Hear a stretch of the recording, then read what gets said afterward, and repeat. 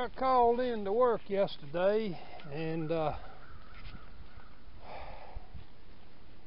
I was riding my old backup vehicle, the little old DJ5 DJ5 Jeep and I got about two thirds of the way through my route something popped in the rear end. So uh, I decided to park it and get some help finish up. So now I'm uh, gonna go gonna hook up the trailer and go get the thing and bring it and see what's the matter to it. So we'll be back with you shortly. Well, got the trailer hooked up. I swear I believe somebody been fooling with it because uh, I ready to hook up one of the safety chains and it broke. I gotta see if I can figure out how to fix that. And then we'll go get the Jeep. Well, made it up here to get the Jeep. So get him loaded up here and get uh, on the trailer and get him back to the house. See you later. Alrighty, we loaded up. We're ready to go to the house.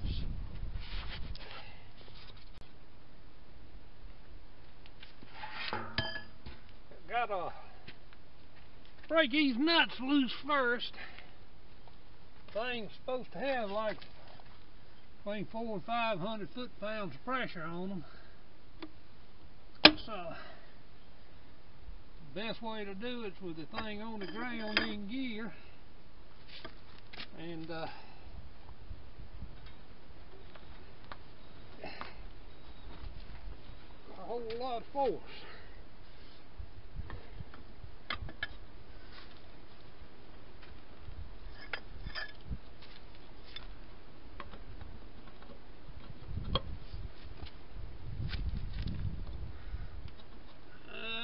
step around the other side and knock it loose.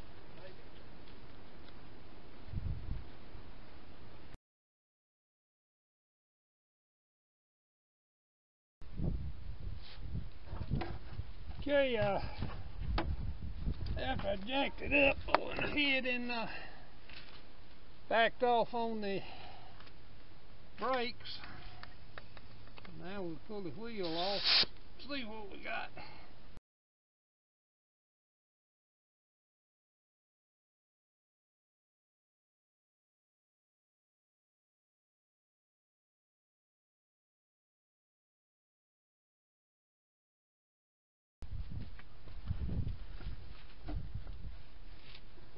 I ain't got my magnet with me.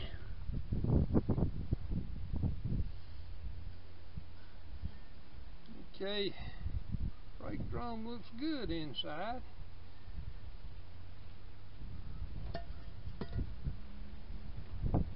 This right here is what concerns me. Pretty much, pretty sure that's a bearing gone out over here.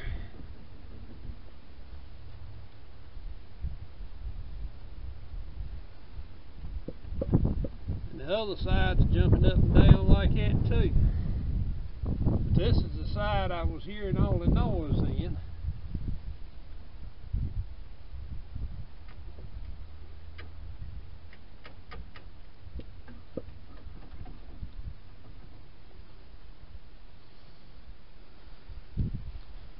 Okay, I'm going to stop you. I'm going to go ahead and uh, tear the brakes down. I got to take a metal line loose from the wheel cylinder and then I can get to the bolts that hold this backing plate on. Then when I take the backing plate off, that'll let me take the axle out. I'll be with you, back with you when I get ready to pull the axle. Okay, I got everything loose now. Let's see if we can get this axle out of here just like it.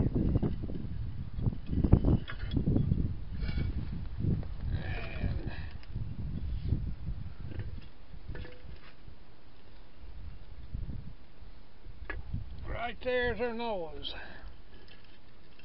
That bearing gone completely out. There's part of it there.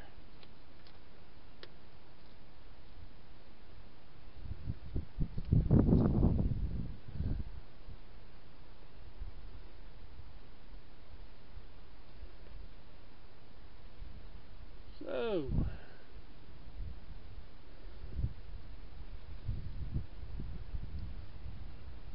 we'll do, uh, I'm going to go ahead and pull the other side too.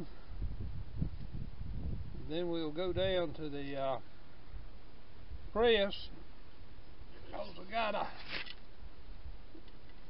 pull this hub off in order to put that bearing on. It's got a shoulder right there that fits up against. So, be back with you shortly.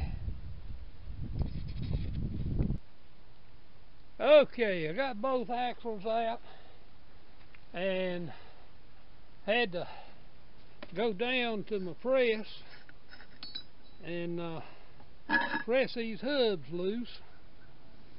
It uh, this is the one out of the right side. I swear I lied. There's a key down there. Anyhow, had to press it. And uh,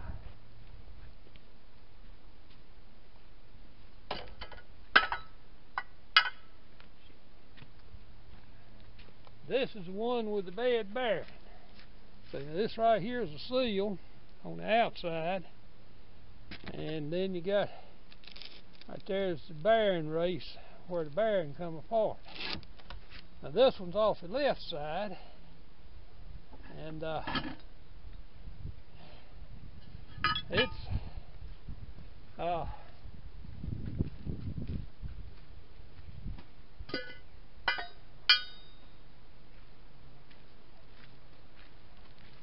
I have for years had a problem with this side and hadn't had nerve enough to fix it the old bearing's good, but see how that bearing walls around on that shaft? So, uh, what we're going to do is, uh, I'm going to get it cleaned up here, and I'm going to take a welder and build that up. And tomorrow, we're going to see if we can get the old lathe started turn that back down so that bearing ain't wallering around in there anymore.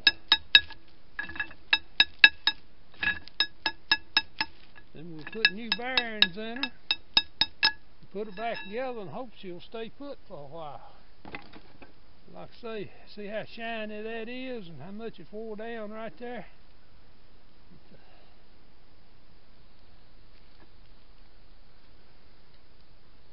Uh, been a little nervous about doing that. Don't know whether I'll put too much heat in the axle or not, but I'm going to try it and see what happens. So, I lied about keyway. There's a key, and then it's got them splines there too that it fits up against. But still had to press them off took everything old press had in it to get them off too. I'm uh, hoping one of these days, for too long, I'm going to build me a shelter off the side of the building there. Get that press up here so I don't have to walk so far to use it every time. But, uh, we'll talk at you later. Bye. Well, we're down here with my old lathe. I'm going to see if I can get something going here to uh,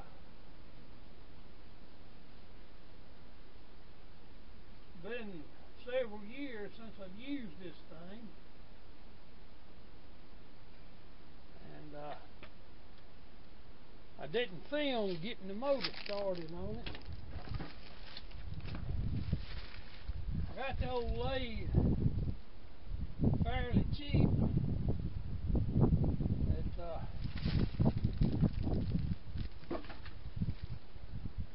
machine go for salvage price or thereabouts. And uh, got a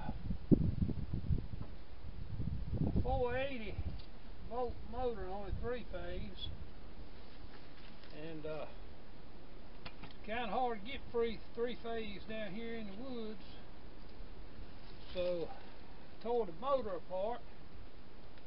And uh, took the windings out of it fan off of it and had room enough to put a pulley on. And I made me a bracket back there on the back that uh, got a 18 horse Briggs and Stratton sitting on it. And uh, that's what I use turn stuff with. See if we can get it fired off here.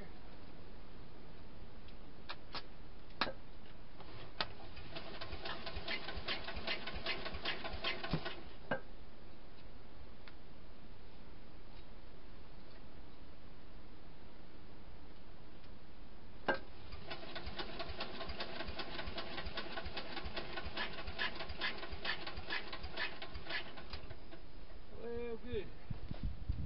I had it running earlier.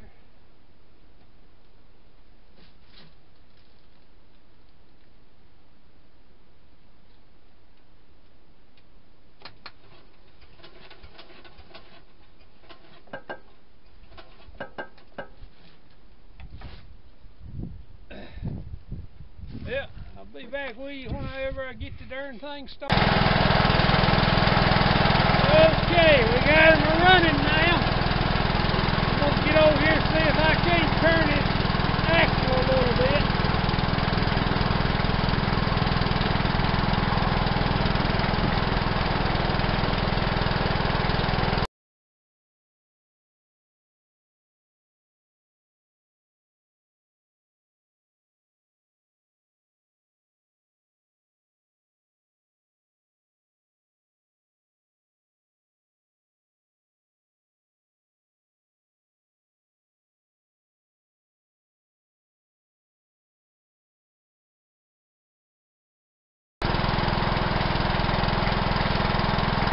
Well, be back with you shortly. Well, I finally got the darn thing turned. It won't pretty. The way everything's been acting up, so be back with you shortly. Okay, here's my axle I built up.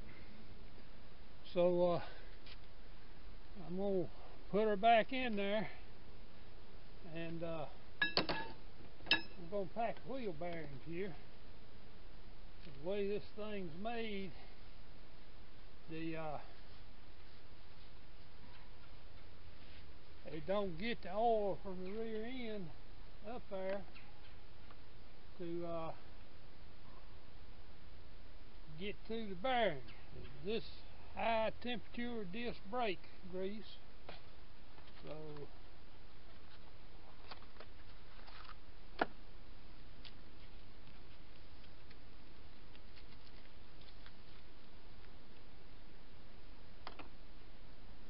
I seen a fella packing bearings on YouTube, and he was packing them from a narrow end, but the proper way to do it is to get back here on this back side.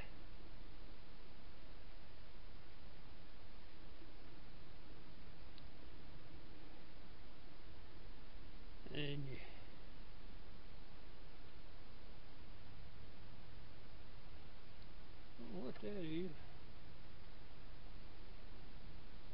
Just keep forcing the grease through them.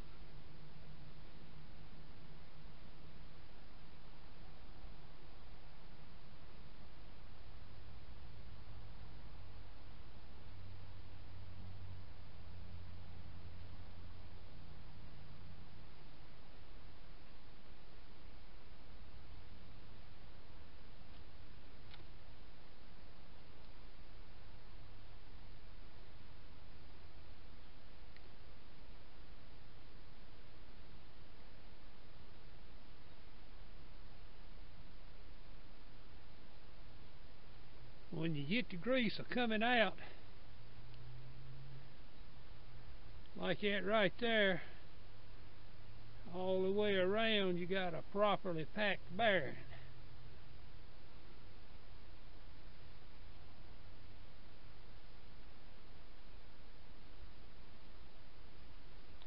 One thing I don't like about this, this is a mighty small wheel bearing to be riding around on.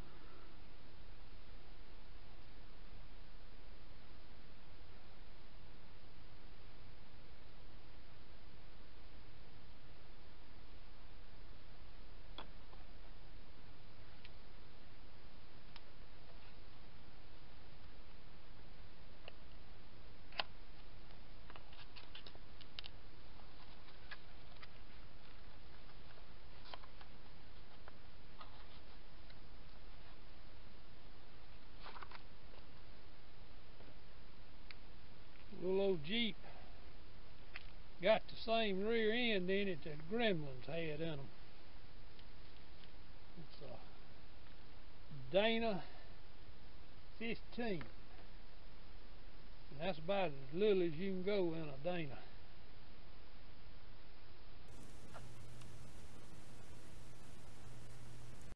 This old thing here behind me has got a Dana 44 in it. And that's one of your most common rear ends is are differentials.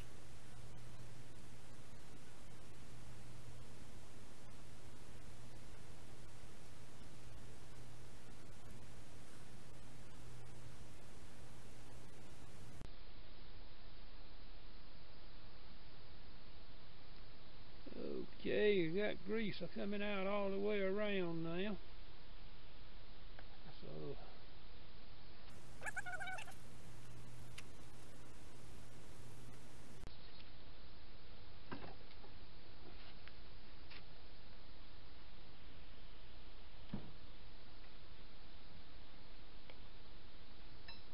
on this particular style, the bearing goes on this way.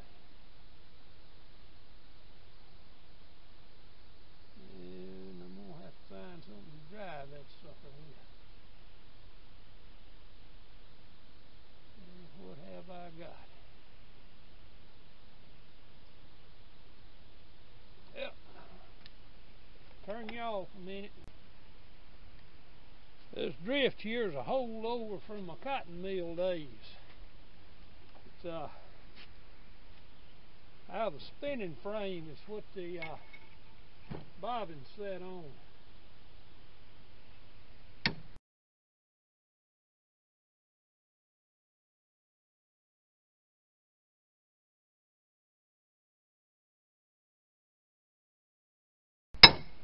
Here that thing gets solid like that.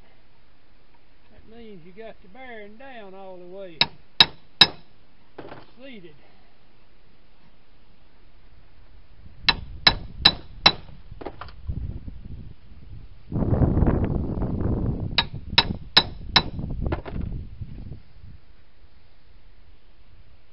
Okie doke. That one on there. Get race on there like it at.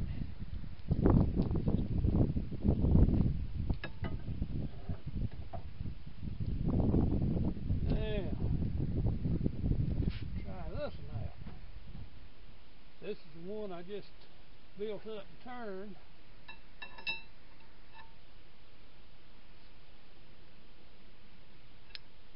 Oh, turned it too much. It's still tighter fit than it was.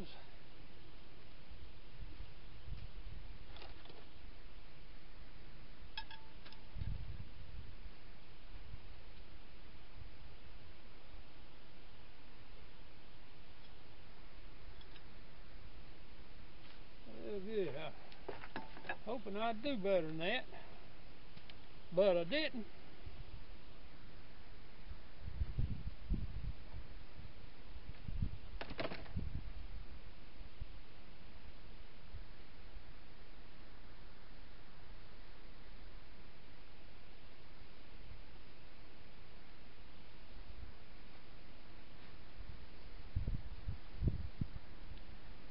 Maybe it won't waller as bad as it did though. Alrighty, I'm gonna turn y'all a few minutes.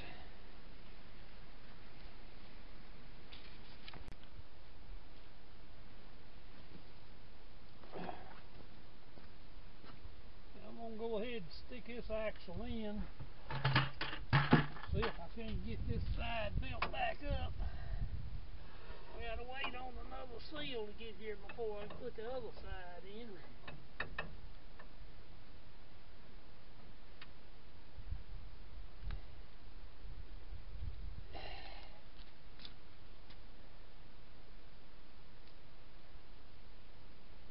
So we gotta put the backing plate on and see how tight bars. A little bit of shimming has to be done on this. And the book says that whenever you've got an axle out of it, not to turn the one that's still in it or else it'll uh, cause it to uh, gears inside to slip. And uh,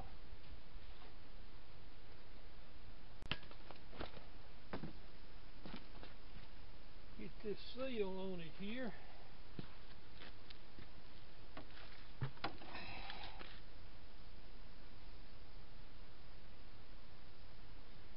Put a little grease on that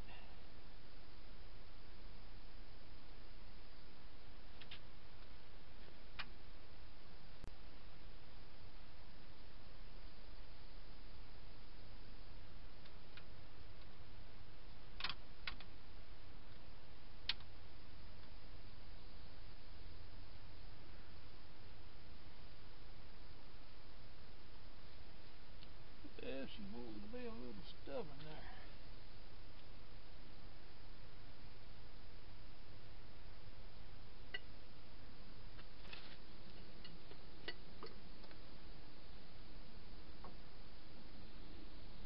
Even though that wheel bearing, I still like to put a little extra grease in there.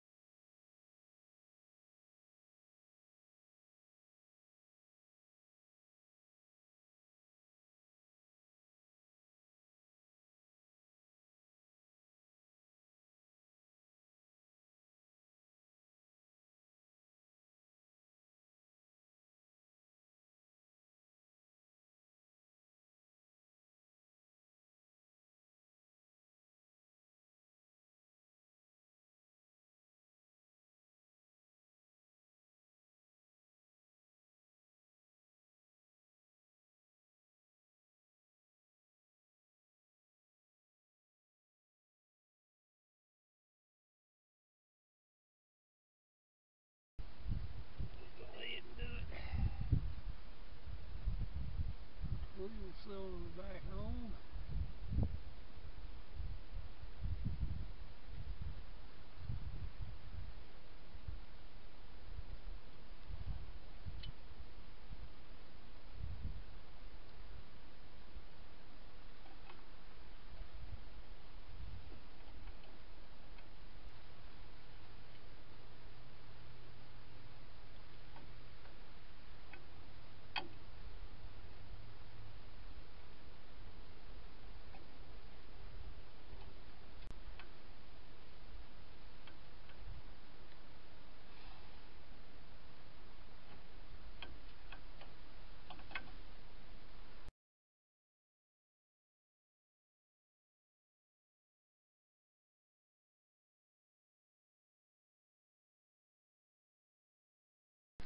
Well, I'm gonna turn you off a few minutes.